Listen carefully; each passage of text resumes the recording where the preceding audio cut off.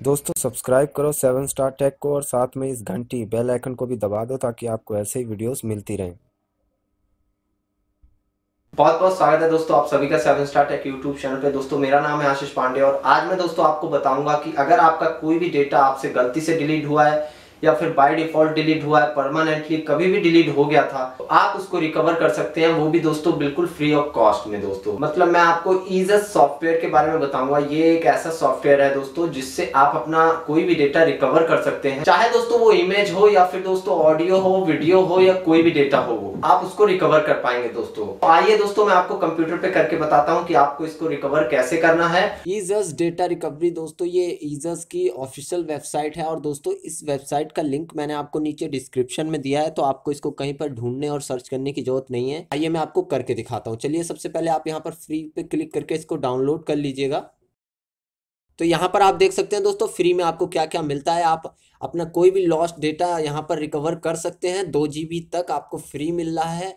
साथ ही में दोस्तों, यहाँ पर आप देख सकते हैं, किसी भी टाइप का डेटा हो, चाहे वो photo document video audio email हो वो सब आप रिकवर कर सकते हैं। साथ ही में दोस्तों हार्ड ड्राइव हो या फिर एसएसडी यानी कि सॉलिड स्ट्रेट ड्राइव या फिर यूएसबी दोस्तों, कोई भी आपका पेन ड्राइव वगैरह हो, सारे डेटा को आप यहाँ पर रिकवर कर सकते हैं। अगर दोस्तों आपको प्रो वर्जन की ज़रूरत पड़ती है तो यहाँ पर आप देख सकते हैं कि आप इसको अपग्रेड कर सकते हैं। तो मेरे लिंक पर क्लिक करके अगर आप यहाँ पर आएँगे दोस्तों तो आपको फिफ्टी ऑफ़ मिल जाएगा। तो एक बार आप चेक ज़रूर कीजिएगा और साथ ही में ये फ्री में डाउनलोड करके आप दोस्तों अपना कोई भी नॉर्मल डेटा दोस्तों रिकवर कर सकते हैं। चलिए, मैंने इसको इंस्टॉल कर लिया है। मैं आपको करके दिखाता हूँ कि आपको कैसे अपना डेटा रिकवर करना है। तो सबसे पहले चलिए, मैं यहाँ पर एक आपके लिए फ़ोल्डर बना देता हूँ। ये देखिए टेस्ट और इस फोल्डर को मैंने यहाँ पर बनाया है और इस फोल्डर में चलिए, मैं यहाँ पर कुछ डेटा कॉपी करके दिखा देता हूँ आपको। तो आप यहाँ पर देख सकते हैं दोस्तों कि ये टेस्ट फोल्डर जो मैंने बनाया है, मैं इसमें चलिए कुछ फाइल्स को यहाँ पर पेस्ट कर देता हूँ। ये देखिए, ये फ़ोटोज़ हैं जो कि मैंने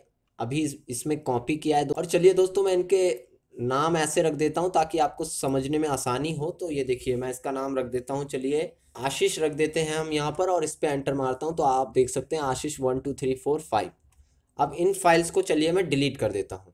तो यहाँ पर मैंने इनको कर दिया डिलीट और उसके बाद आप देख सकते हैं कि मैंने इनको डिलीट कर दिया है। और चलिए मैं इसको यहाँ पर रिसाइकल बिन से भी दोस्तों डिलीट कर देता हूँ। और रिसाइकल बिन से भी ये मैंने आप देख सकते हैं डिलीट कर दिया है। तो रिसाइकल बिन से दोस्तों वो डिलीट हो चुके हैं। अब चलिए मैं इसको यहाँ पर आप देख सकते हैं ईजस इसको मैं खोलता हूँ। तो यहाँ पर दोस्तों ये खुल चुका है और जब ये दोस्तों खुल जाए तो यहाँ पर आपको स्कैन करना होगा और स्कैन करने के बाद ये दोस्तों हमारी पूरी ड्राइव को स्कैन करेगा और यहाँ से ये डिलीट हमारा डेटा निकालेगा। तो आप देख सकते हैं, अभी ये ढूंढ के निकाल देगा।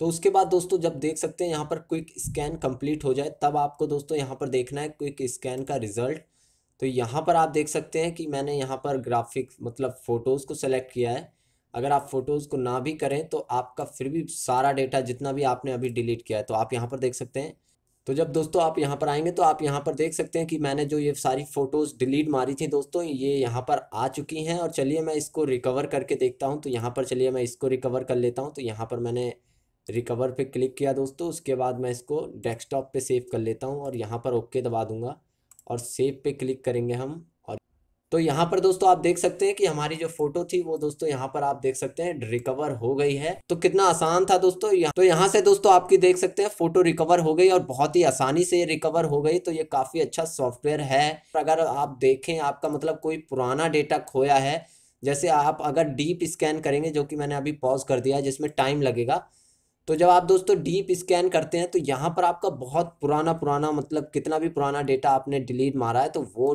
डेटा भी ये ढूंढ के निकाल देता है। जैसा कि आप यहाँ पर देख सकते हैं कि ये सब चीज़ें मैंने बहुत पहले डिलीट मारी थी, और मैं आपको नीचे अगर ले जाके दिखाऊँ तो यहाँ से आप देख सकते हैं कि ये फ़ोटो दोस्तों मैंने जनवरी 2017 में डिलीट मारी थी, और वैसे ही 6 फरवरी 17 की। तो ऐसे ही दोस्तों ये काफ़ी पुराना डेटा भी आपका रिकवर कर लेगा, जो इसे मिल जाता है। तो आशा करता हूँ दोस्तों, ये वीडियो आपके काम ज़रूर आई होगी और अगर ये आपके काम आई है तो इसको लाइक ज़रूर कीजिएगा दोस्तों। और साथ ही में अगर आपको कुछ भी समझ में नहीं आया या कोई भी दिक्कत आ रही है, आप बेझिझक नीचे कमेंट कर सकते हैं। साथ ही में दोस्तों, इस वीडियो को शेयर करिए ज़्यादा से ज़्यादा अपने दोस्तों को, जिनका भी कभी डेटा डिलीट हो गया था, क्योंकि इससे आप पुराना डेटा भी रिकवर कर सकते हैं। तो थैंक यू दोस्तों, ये वीडियो देखने के लिए।